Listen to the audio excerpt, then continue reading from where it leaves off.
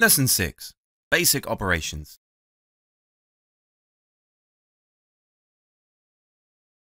Copy and paste.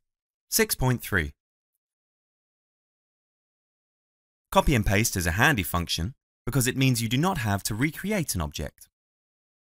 Select the wedge and on the keyboard, press Ctrl-C to copy the wedge.